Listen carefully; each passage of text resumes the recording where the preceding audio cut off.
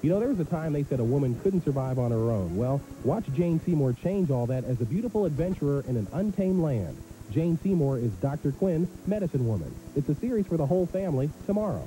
Now, here comes the belles of our Friday comedy ball, Designing Women. They're all next.